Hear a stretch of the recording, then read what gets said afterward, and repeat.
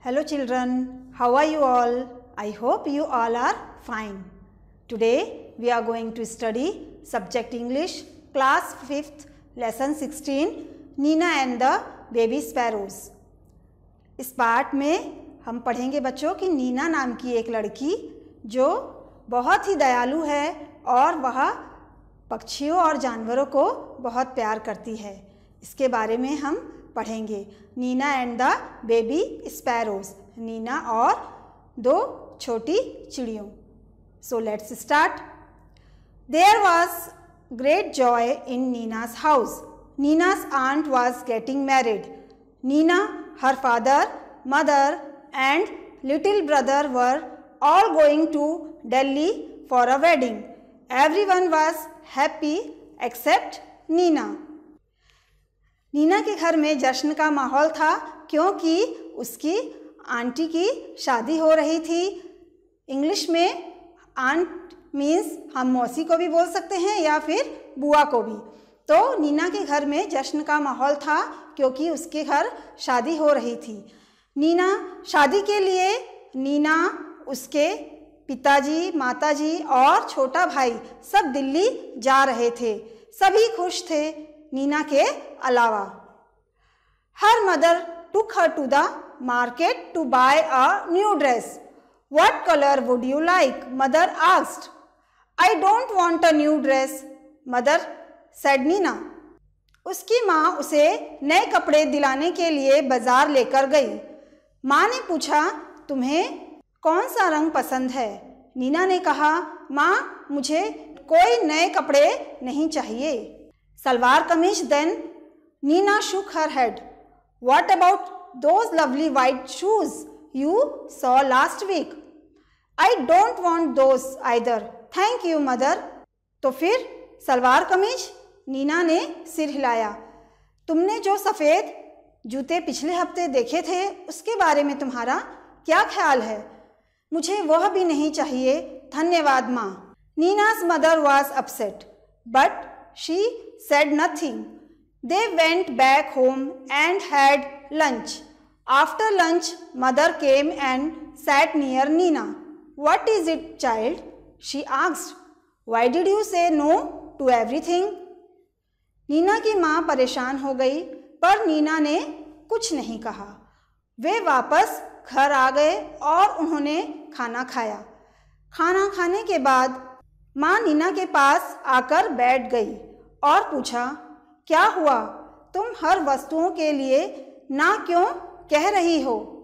Mother I don't want to go to the wedding but why Nina said nothing instead two big tears rolled down her cheeks mother put her arms around Nina don't cry my pet she said why don't you tell me what's bothering you Nina ने उत्तर दिया, माँ, मैं शादी में नहीं जाना चाहती हूँ, पर क्यों?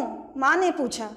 नीना ने कुछ नहीं कहा, पर उसके आँखों से आँसू उतरकर चेहरे पर आने लगे। माँ ने नीना को गले लगाकर बोला, मत रो, तुम्हें क्या परेशान कर रहा है? तुम मुझे क्यों नहीं बताती? More tears roll down Nina's cheek mother she said There's a sparrow's nest on the bookshelf in my room, and there are two baby sparrows in the nest.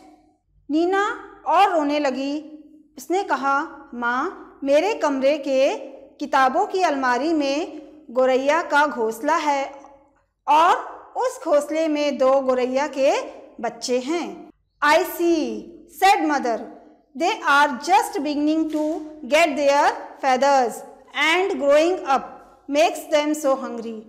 All day long they cry chip chip asking for food. अच्छा माँ ने कहा नीना ने कहा उसके अभी अभी पंख आए हैं वे बहुत छोटे हैं और बढ़ते हुए उन्हें बहुत भूख लगती है वे पूरा दिन भर भूख के कारण खाने के लिए आवाज़ें निकालकर रोते रहते हैं। I see said mother if we go the whole place will be locked and how will papa and mamma sparrows feed their babies अगर हम यहाँ से चले जाएँगे तो यह कमरा पूरी तरह बंद रहेगा। फिर उन बच्चों के माता पिता उन्हें खाना कैसे खिला पाएँगे?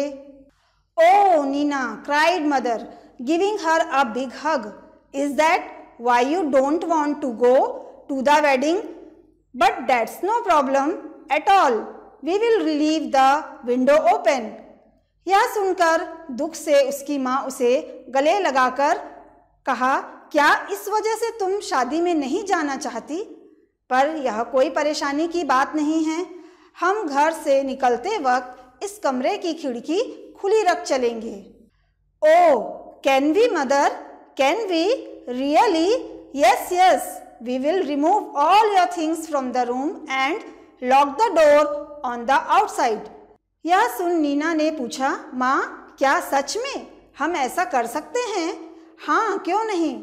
माँ ने कहा, हम इस कमरे के सारे सामान को यहाँ से हटा देंगे और कमरे को खाली कर बाहर से बंद कर देंगे। So the house will be perfectly safe and papa and mamma sparrow can come and go freely too just think Nina While you enjoy yourself at the wedding, the baby sparrows will be getting nice and fat in their nest. Good idea, isn't it? इससे घर सुरक्षित रहेगा और छोटी चिड़ियों के माता पिता भी आराम से आ जा सकेंगे सोचो नीना, तुम शादी में खुशी मना रही होगी और यहाँ छोटी चिड़िया अपने घोंसले में अच्छे से रहकर और खाना खाकर मोटी हो गई होगी। यह अच्छा उपाय है ना? It was a good idea when Nina came back from the wedding there were two plump little sparrows flying all over the room and wasn't Nina thrilled वाकई यह अच्छा उपाय है। इसके बाद वे सब शादी में चले गए।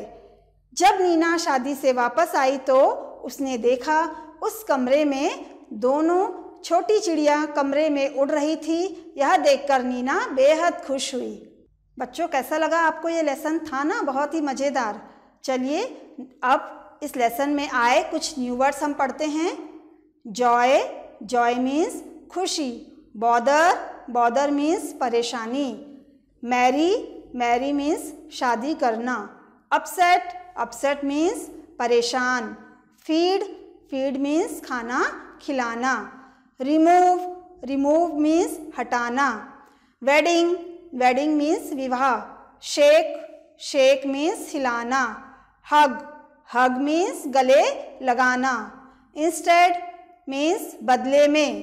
प्लम्प प्लम्प मीन्स मोटा या फूला हुआ।